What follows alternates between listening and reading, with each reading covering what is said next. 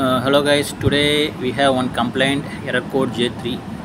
So the tenant complaint already complained the error code J3. So we go and see first after we go and attend this complaint. What problem this J3?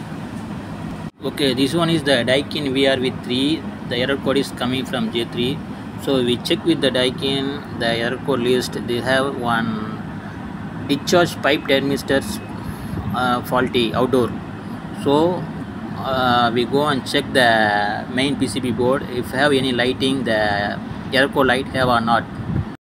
We come and check the indication light. Indication light H1P2 until H8P that the H1P to H8P they have the H2P and H3P light light have. If H2P and H3P light have uh, light have uh, they have some error code have we replace this main PCB also we replace because the time the error code for P main PCB so now we have the error code for J3 J3 means already we check with the Daikin the details. J3 means the discharge thermistor problem.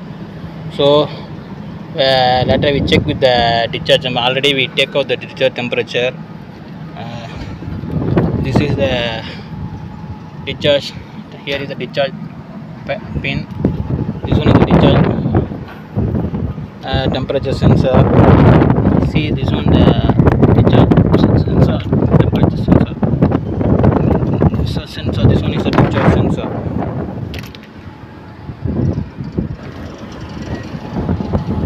So we also buy the new one. New one is here. So new one is this one this one is old one. Something the resistance problem loss this one see something the here also the spoil one. See the here also the wire also spoil one. So maybe the resistance problem. So we just uh, we, we we confirm with the error code. Just we replace the new sensor. Okay?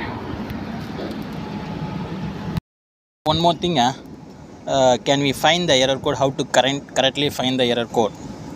Uh, I just show you I just show you how to correctly find the error code.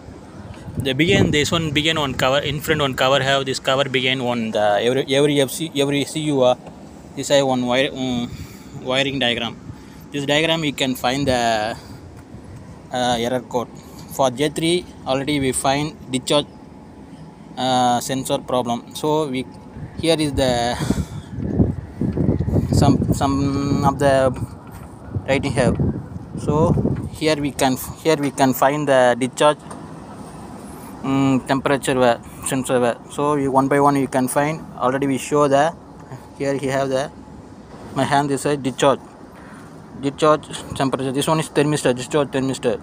So discharge thermometer is we can find it from R31T and R3, R32T this is a sensor discharge sensor thermistor thermistor also we say sometimes the sensor also some people say. So here we confirm already r31t and r31t and 3 r32t so after that we find it from the diagram. Here we how we get here we find the find it from the where r r31t r32t so we can find here where uh, so you see diagram have r31t R32T okay this one is the R31T R31T this is the thermal connection thermal from X29A somehow the R23 R40 R53 R60 X30A so here R31T R32 is X29A R31T R32 is X29A so after that we go and check the main PC board where we find the X29A so we check one by one. Here x28a here x20a 23a so like this like this finding after he have the x x 29a so he sees x9a just now we take from the discharge temperature from this point correct? Yes. This one is the problem one. So we can we can identify this one is the problem. So this this one is for the discharge from join from the this one you find the wire. After this find this wire is the here the discharge because this one discharge pipe ma. So here is the discharge thermistor have here one have here one have. because this one two here is the two compressor. One is the inverter compressor. One is the standard compressor. So for two compressor also discharge pipe have. So he have the two discharge thermistor sensor have already. Okay, now I put back the discharge thermistor for the discharge pipe. So this is a standard compressor. So I put one here. Okay put a, this one one because the spin have this pin I don't know this one I maybe the people spoiled already I lost already another one is pipe this one is the standard compressor. If the inverter compressor spoil the standard compressor can on for emergency setting. Was here also. I put one. So I put two number. Here one so it just join back there.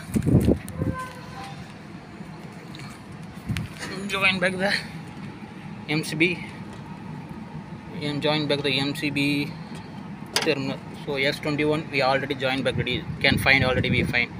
So now power on the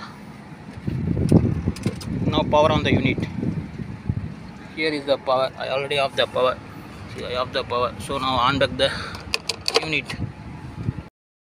After I power on back ready. Uh, this one for maybe that maybe going to 5 minutes or 7 minutes the the no- H2P automatic blink stop ready. The H1P automatic continuous blink continuous lighting. The last one H8P also blinking stop automatic the CU running later I show you the CU running time. I just take one video of the motor and compressor running.